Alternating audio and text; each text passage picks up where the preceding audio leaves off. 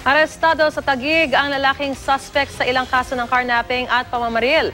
Nakuha sa kaniyang isang granada at isang motorsiklong hinihinalang nakaw. Ang mainit na balita atin ni Bam Alegre exclusive.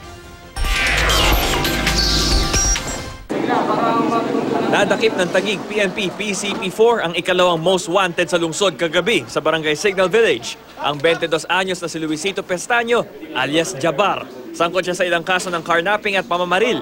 Kaya naman matagal nang pinagpaplanuhan ng mga otoridad na ihain ang kanyang mga warrant of arrest. Kasabay sa pagkakaaresto, nakuha sa kanya ang isang granada, isang paglabag sa RA 10591 o kasong illegal possession of explosives. Ito po ay matagal naming binantayan, ngunit sa pagkakataon ngayon ay isang informante po ang naglakas loob na bigyan kami ng impormasyon kung saan po ma- matatagpuan. Na-recover din sa suspect ang isang hinihinalang motorsiklo na ninakaw at ang isang kasangkapan na kung tawagin, pick lock. Ginagamit ito para tanggalin ang lock sa mga manibela ng mga motor. Ayon sa mga otoridad, madali lang daw matamper ang mga ignition switch pati na rin ang mga kandadong ginagamit sa motorsiklo. Si Pestaño, itinurong sa kasamahan daw niya ang granada at ang motorsiklo na huli sa kanya.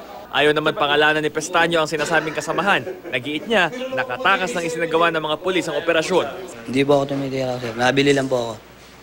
Nabili lang po. Bumibili ka lang ng motorsiklo? Hindi po ako kumukuha, nabili lang po. Sumailalim na ang suspect sa medical exam at nahaharap rin siya sa inquest proceedings. Nananawagan naman ang PNP sa mga biktima ng suspect na maghain ng reklamo sa kanilang opisina. May babala rin sila sa mga nais magpatuloy sa mga gawaing kriminal. Bago na po ang ating presidente, kaya kami ay tumatalima sa kanyang kagustuhan na linisin, ubusin ang lahat ng kriminal sa abot ng aming makakaya. Bam Alegre, GMA News.